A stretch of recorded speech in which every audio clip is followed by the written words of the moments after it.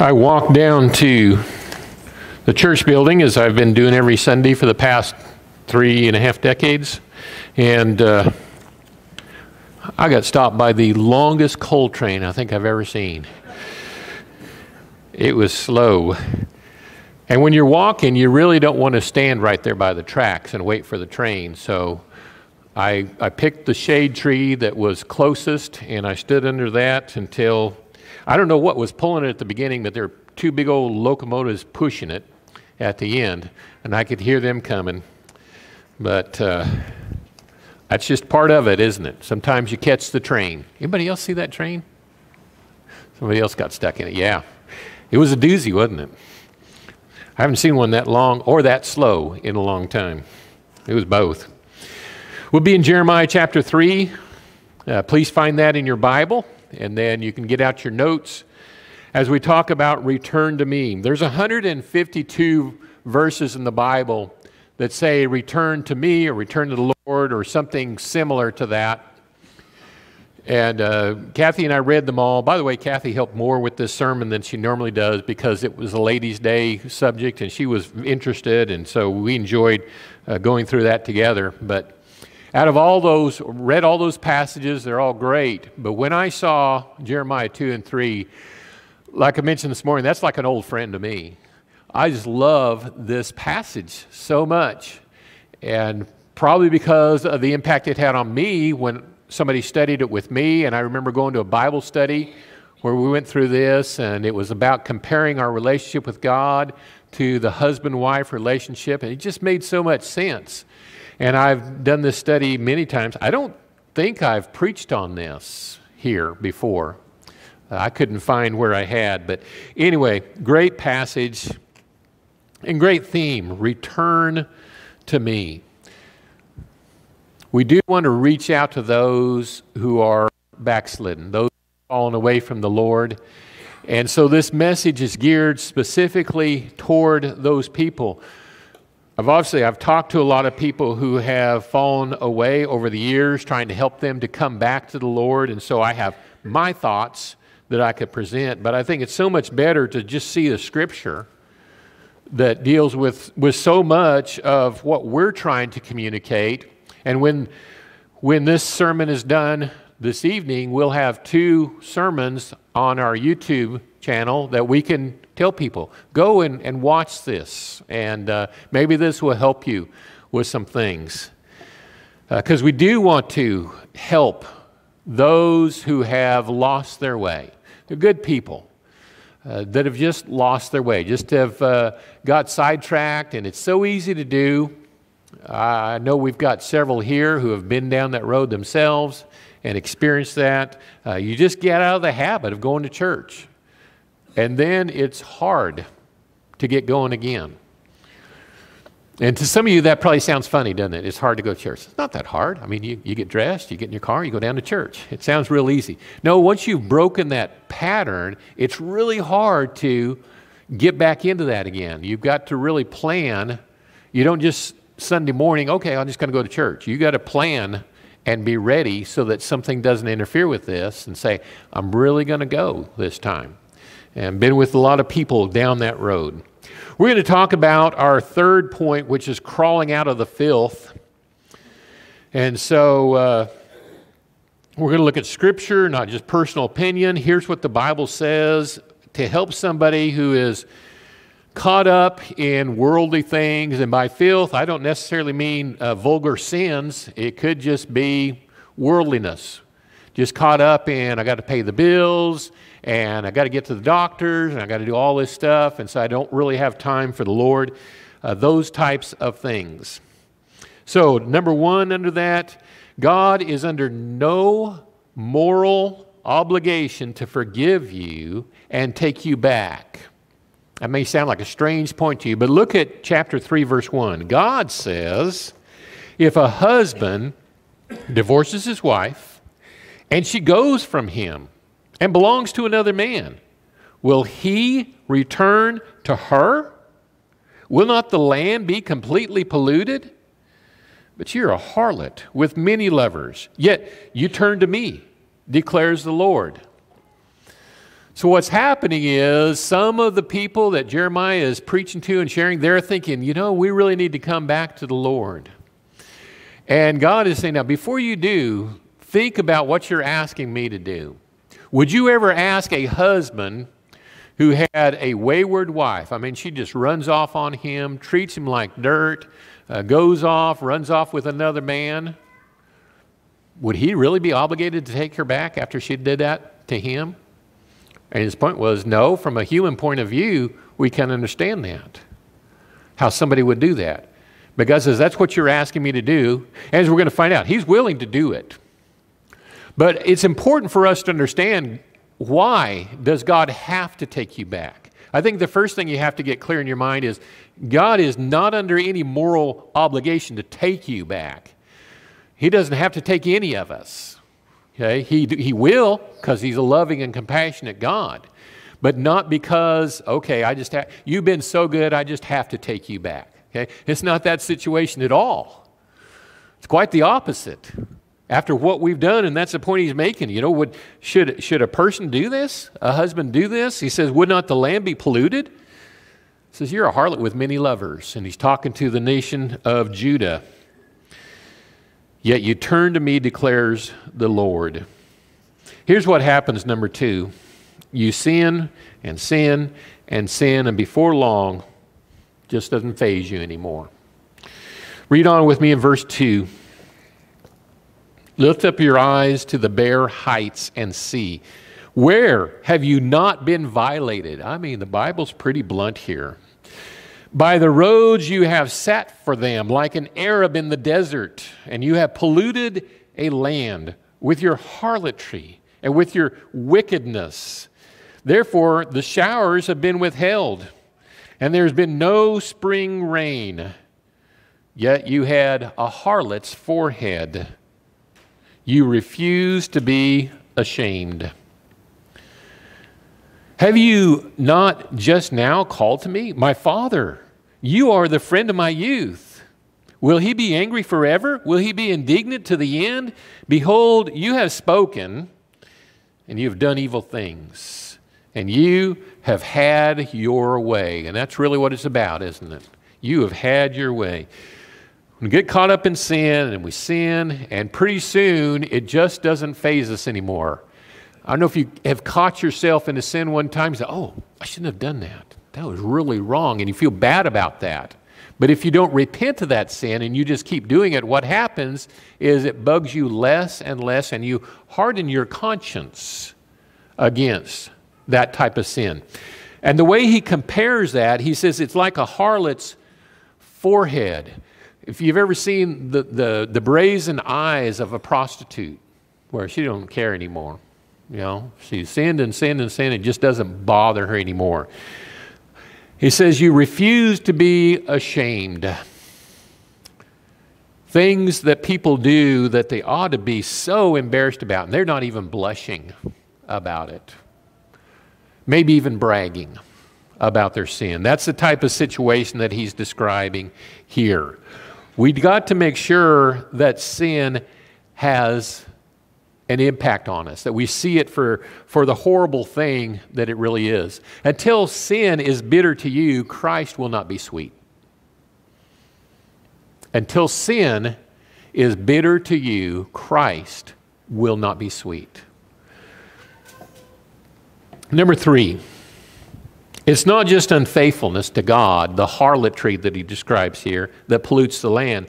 It's one acquired wickedness after another. He says that in verse 2. He says, And you have polluted a land at the bottom of verse 2 with your harlotry and with your wickedness.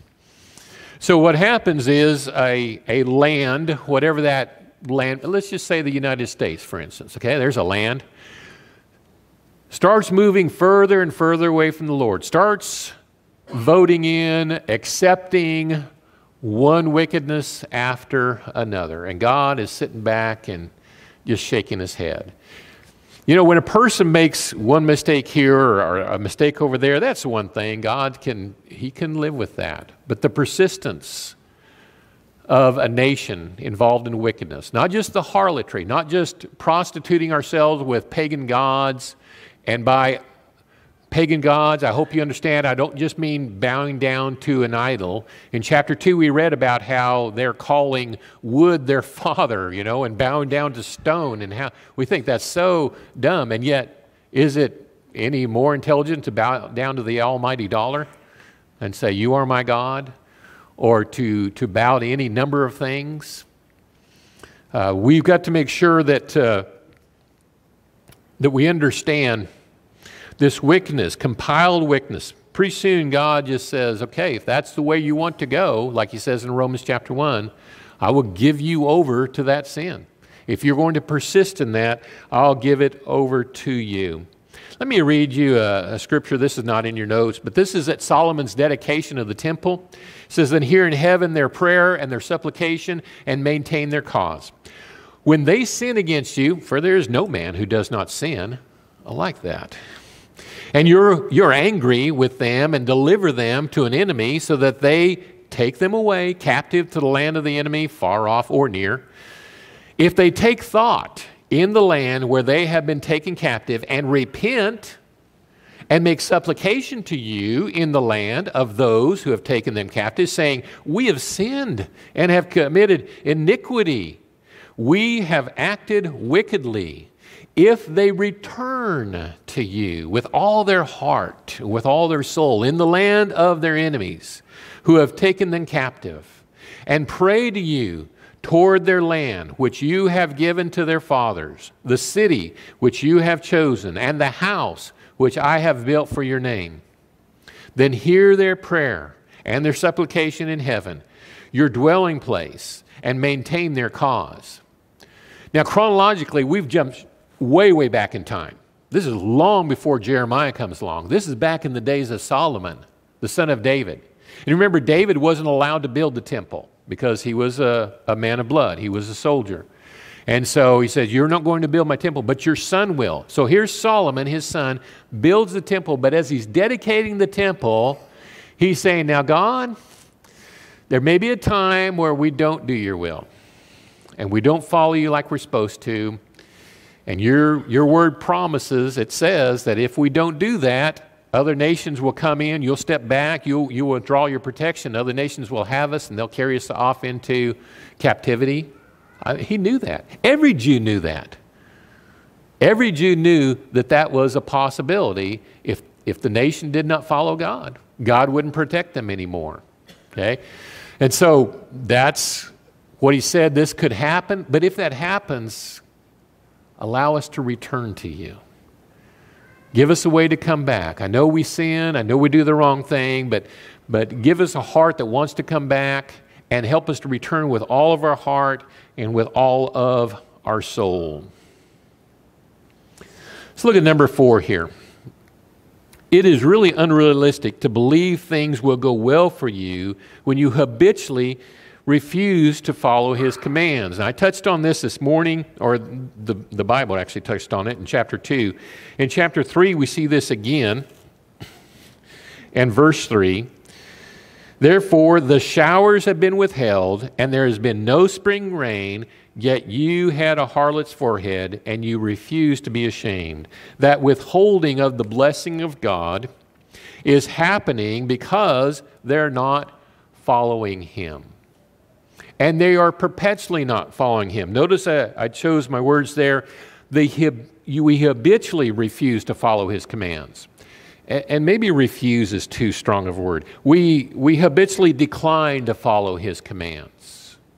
Because sometimes it's not just that a person is just refusing, it's not like somebody saying, I just don't want to do the will of God, but we choose other things. Remember the example I gave you this morning of, of here I am and I'm facing God and I love God and I, I'm listening to Him, but I've got these other voices around me that are, are telling me to do things. Okay, I've got my doctor and he's telling me one thing, and I've got uh, my teacher trying to tell me to do something else. And I've got my boss talking to me about this or that. And you need to get in and, and do this or that. And I've, I've got all these other voices. And pretty soon I, I'm turning towards those things. And, and obviously, these are important people. We need to listen to what they say. But when I'm following their voices and I'm not hearing God's voice, or if they're telling me something that is contrary to what my God does, If I make a mistake and I go this way, I can come back and, yeah, God, I'm so sorry I did this. And God will always take me back. But when I habitually do that, like over and over again, I'm just continually not listening to God, just totally ignoring Him, I am sacrificing my marriage to God. I'm divorcing myself from Him by my actions and by the voice that I am choosing to listen to. And I'm turning away from Him. I'm not facing God anymore. I have my back to God. This is the situation that a person finds himself in when they fall away from God. We see, uh, number five here, the core reason for turning away from God is wanting to have our own way. That's really what it boils down to. Is a lot of people, when they fall away and say, okay, well, i am going to make all the decisions here, and they kind of like that. He says at the bottom of verse 5 and have done evil things, and you have had your way. You get to do what you want to do, and that's the way you want it. And God says, okay, if that's the way you want it, that's the way it's going to be. God never forces His will upon us. Uh, we have to be wise enough to choose it. All right, number six. Observe others who have fallen away and then don't make the mistakes that they made. This is good advice. Starting in verse 6 of chapter 3, it says, Then the Lord said to me in the days of Josiah the king. Have you seen what faithless Israel did? Now, Israel at this time has been carried away into captivity. They did not do the will of God. He withdrew this protection from them, and the Assyrians came in 722 BC and took them away to captivity. This has already happened. So he says, Have you seen what Israel did? She went up on every high hill, under every green tree, and she was a harlot there. The idolatry in uh, Israel, in the nation of Israel, was uh, rampant. Verse 7 I thought after she had done all these things, she will return to me. But she did not return. And her treacherous sister Judah saw it. So now he's not talking about Israel, he's talking about Judah, the two southern tribes. Watched what was happening. They saw that whole thing go on. She saw it, verse 8, and I saw that for all her adulteries of faithless Israel, I had sent her away. And I've given her a writ of divorce. Notice again the, the marital reference there. I gave her a writ of divorce. Yet her treacherous sister Judah did not fear, and she went and was a harlot also. God says, You would think Judah watched what just happened to Israel and said, Duh, I'm not going to do that. I'm not going to make that same mistake. But she didn't. And we know not long after this is written, the Babylonians come in, they conquer Judah, carry them away into captivity. What's the, the application for us? You know, when you are around the streets of our community and you see people who used to be members of the church here and they've fallen away, and they're there. You know, I hope you will say, I don't want that to happen to me. I want to stay faithful to the Lord. Well, then look at the mistakes that they made and then don't make those mistakes. Ask yourself, how does that happen? Somebody who at one time was very strong in their faith and yet they have drifted away. How does that happen that a person drifts away? How would it happen to you? What would Satan have to do to you to get you to turn away from God? Whatever the answer to that question is, that's where you need to bolster your strength, your spiritual strength. That's where you need to build up strong and say, I need to be determined. Satan's not going to get me in this area. Maybe a, an area where he has tried and had some success in your life in the past. And you need to say, uh uh-uh, uh no, we're going to build that up strong right there. And he is not going to get me. Satan is a roaring lion, seeking whom he may devour. And you know what a lion does? A lion studies the herd, and then he picks out the weak, right? Picks off the weak. You don't want to be one of those weak. You don't want to be off on the edge. You want to be right in the middle of the herd. That's the best place to be. And so get yourself there spiritually, maneuver yourself so you are right in the center of things. You are in your strength, in your faith. See the mistakes of those who have fallen away in the past and say, I'm not going to go down that road. Here's what I'm going to do. God's saying, I wish Judah would do that. Judah watched that whole thing with Israel. Turns around, does exactly the same thing, making the same mistakes. All right, number seven. You know, God is branded as cruel for divorcing himself from adulterous, faithless, and treacherous people. But God has to be true to his righteousness. We see this in verse 8, which I just read. I saw that for all of her adulteries, the faithlessness, I sent her away. I gave her a writ of divorce. We read that and say, oh man, that is so cruel by God. No, you don't understand. If he makes a vow, this is what's going to happen. In his righteousness, he has to fulfill that. He is obligated by his own truthfulness. God is not capable of lying, he will never lie. And so, if he says this is what's going to happen, and you read it from God, we read it straight from his word, that's what's going to happen. Good or bad, whether we like it or not, that's exactly what's going to happen. And that's what's happening here. It seems, you know, like God is, oh, he's so harsh. No, he's just true to his own righteousness. He is committed to the path of righteousness, just like he calls us to be committed to our path to righteousness. You take a marriage vow, you get married, you are obligated to your wife, you're obligated to your husband to fulfill that vow. No different with God. If you have been baptized into Christ, you made a vow with God, whether you understood all that vow or not. How many of you, when you got married, understood everything there was about marriage? How many understood anything about marriage? you didn't know. But you worked it out, didn't you?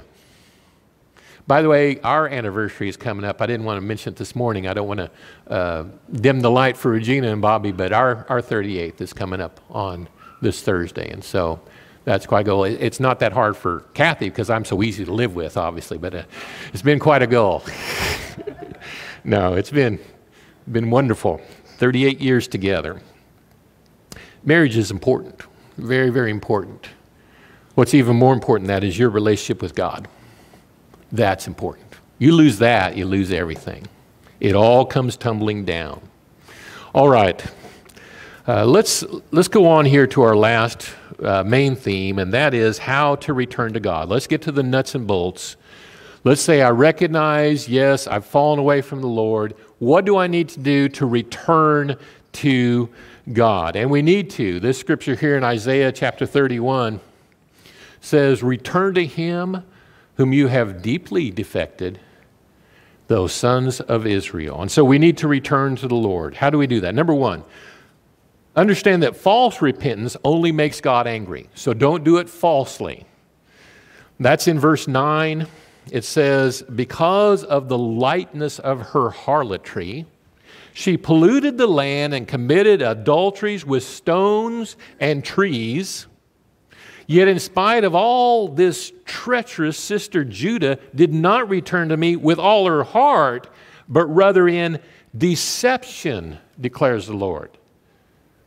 So Judah watched and says, "Oh no, we don't want to do that," but and comes back to the Lord, but only in deception. In other words, only in uh, in pretense, only pretending. Oh yeah, I'm here, God. You've never seen anybody just acting religious, have you, before? You ever seen that? I'll bet you have. I mean, their heart's really not in it, but boy, they're going to go through the motions. That just makes God angry when that happens. If you're going to come back to the Lord, come back to the Lord. Be real, be honest about it, because God knows what's in your heart anyway. Really, you think you're going to pull the, wool over His eyes? He knows already. Don't pretend. Come back to the Lord. Don't, don't make the mistake that Judah did here, because God saw through it just that quick.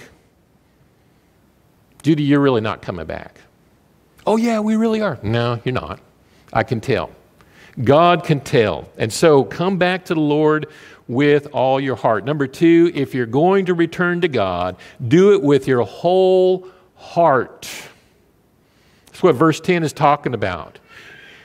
Judah did not return to me with all her heart, only in pretense, only in deception. It needs to be a wholehearted effort.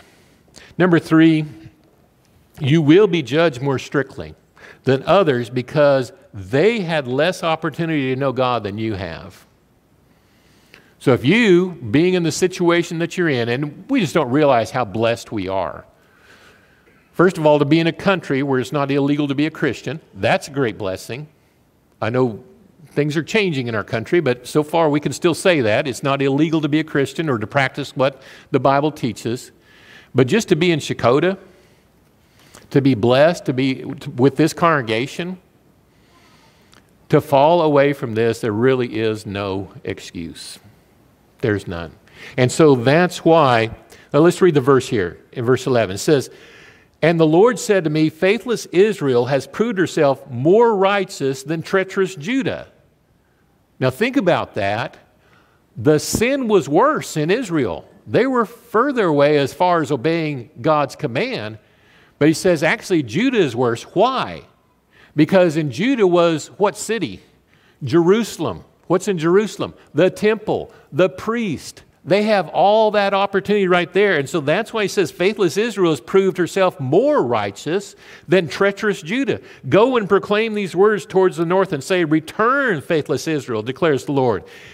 I will not look upon you in anger, for I'm gracious, declares the Lord. I will not be angry forever. Only acknowledge your iniquity that you have transgressed against the Lord your God, and have scattered your favors to the strangers under every green tree and you have not obeyed my voice, declares the Lord. God says, I want you back so bad. I want you back. But you need to acknowledge your iniquity. You need to be able to admit, I've done wrong. I've sinned. And I blamed you, God, and I had no right to do that. And I blamed others, and I had no right to do that either. Yeah, people make mistakes. People maybe said what they shouldn't say, they did what they shouldn't do, but that doesn't mean I shouldn't do what I'm supposed to do. Sometimes we, we're too easy on ourselves as far as uh, these excuses we accept. Well, the reason I'm not doing so well spiritually because of so and so over here. Man, if they get their act together, I could do better. No, you can get your act together anytime you want to. Anytime you decide, nobody here has any more bearing on my relationship with God than me and God. This is up to me and God. I decide how close I'm going to be to God, not you. Right? And the same thing is true with you. It's not anybody else around you, it's you and God. You decide how strong your marriage is going to be to God. You decide how strong that relationship is going to be, and then you pursue it. Not somebody else. It's not somebody else's fault, it's you and God. A few more scriptures here. Isaiah 19, verse 22 says, The Lord will strike Egypt, striking but healing. So they will return to the Lord, and He will respond to them and will heal them. Let me show you another one here after this point. No, go ahead. Go back. Okay. For the reason you should repent, uh, the reason you should repent and return to God is because He is your husband. Verse 14 Return, O faithless sons, declares the Lord, for I am your master. And I'll talk about that word here in a minute. I'm a master to you, and I will make you one from a city and two from a family, and I will bring you to Zion. The word for master is actually Baal, a Hebrew word that means husband. I'm not sure why it's not translated uh, husband all the time because uh, it, it, can mean master. It's not a bad translation. But in chapter 31 and verse 32, there it's translated husband. Why should you return to God? Because He is your husband. Why does God want you back? He says, I'm your husband. I love you and I want you back. Return to me. Come back to me. Now, let me show you a couple other scriptures that go well with this. I have wiped out your transgressions like a thick cloud, and your sins like a heavy mist. Return to me, for I have redeemed you. Redeemed means I bought you back. Isaiah 44, verse 22. Then Isaiah 55, verse 7 says, Let the wicked forsake his way, and the unrighteous man his thoughts, and let him return to the Lord, and he will have compassion on him, and to our God, for he will abundantly pardon. Beautiful thoughts there. One more in Lamentations. Let us examine and probe our ways, and let us return to the Lord. Very simply put, we can come back to God whenever we're ready. And there's no better time than right now. Let me say one other closing remark here, and then I'll, I'll quit. Put away detestable things and come back to the Lord. In chapter 4, starts off this way If you will return, O Israel, declares the Lord, then you should return to me.